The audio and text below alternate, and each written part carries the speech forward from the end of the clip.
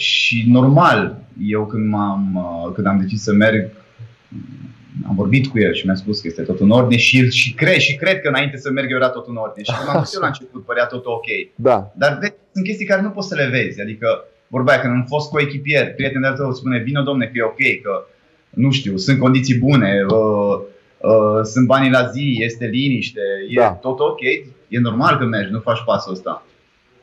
Și a fost la început. După aia, încet, încet, uh, încet, încet s-a strigat, ceva, s-a strigat ceva în club și, nu știu, da, au, avut- au apărut probleme financiare, au, uh, și na, astea au condus la ceea ce s-a întâmplat, practic, să intre clubul în faliment, între ghilimele, că practic a fost o chestie uh, pilotată, zic așa. Acum iar sunt în prima ligă, dar de fapt sunt tot ei.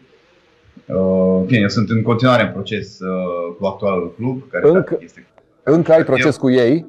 Da, da. Adică încă am. Am câștigat încă o dată procesul și a con- contra acestei echipe. Da. Care, practic este continuatoare. Deci am demonstrat că este continuatoare. Acum așteptăm la TAS. S-a făcut recurs și așteptăm rezultatul de la TAS. Câți bani ai de Dar, recuperat? uh, repet, în Rusia se fac încă, știm foarte bine, ei sunt, uh, nu știu, trăiesc. Eu cred că, din anumite puncte de vedere, încă se trăiește, se trăiește în comunism și frica asta a, a, a exprimării, a, nu știu, a, a spune punctul de vedere că vezi, Doamne, ce s-a întâmplat. Și s-a și întâmplat cu multe persoane la nivel înalt, adică nu vorbesc. Că acum foarte mulți am văzut că atacă jucătorii, jucătorii Rusiei, că nu iau nu Atitudine. iau, nu știu, nu au un punct de vedere din, pentru ceea ce se întâmplă. Eu cred că mulți jucători trăiesc încă acolo, nu e că toți au plecat și eu cred că există frica asta, cred eu. Ai simțit Să- frica asta cât erai acolo? Adică teama de a, totuși teama rusului de a vorbi, de a se exprima liber, de... Nu, nu, nu, nu. Cel puțin la echipă erau și foarte mulți străini unde eram eu și nu, nu s-a întâmplat chestia asta, nu. Și până la urmă noi eram o echipă mică, adică nu aveam antrenor, repet. Era un rus, da, care trece de foarte mulți ani în Spania, Sherișev, Da. Care fi, fiul lui Tatăl, joacă tatăl și... joacă- fotbalistului de la Real, da. Da. Uh, și nu, nu, aveam, aveam o relație ok acolo, nu. Că În, în, în, nu știu, în, uh, în puținul nostru, să zic așa, în care ceea ce reprezentam noi pentru campionatul rus, nu aveam. Nu, nu erau probleme, adică nici nu, put, nu, nu puteam să-mi închipui că o să fie, o să iau și o mergură toată chestia asta.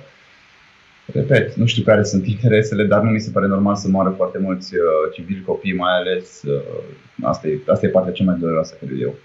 Pentru că până la urmă am fost jucători, sunt de partea jucătorilor. Da. Uh, mai sunt de acord cu o chestie în care, cum ai spus și tu la FIFA, că acum se mișcă lucrurile mai repede, da? Eu am avut de suferit, ok, vorba aia. Chiar câți bani Uh, ai de luat din, din Rusia? Nu te-am întrebat. Poți să ne spui aproximativ măcar. A, sunt ap- aproape 2 milioane de dolari. Dar nu Cât? asta, că Cât? până Cât? la urmă știi cum Cât? e, în viață Stai mergi- puțin, cât? iai, nu iai, ai luat, nu mai iei, nu asta e problema. Stai- stai o Dar secundă. problema să facă ceva de azi încolo. Ia nu, stai o secundă, stai, stai un pic, că n-am înțeles. 2 milioane de dolari ai de recuperat din Rusia? Da, e tot contractul.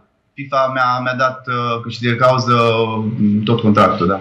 Wow!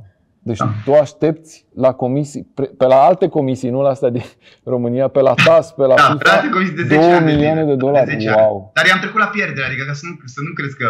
Ah, Da, e wow și pentru tine și pentru mine și pentru foarte mulți oameni normal e wow, dar am trecut peste, adică i-am trecut la, wow. la pierdere. N-am, nici nu n-am mai știut gândesc că la e el, sumă atât de sincer. mare, sincer. n- Eu credeam că e vorba de 100 de mii, 200 de mii de euro, cam acolo.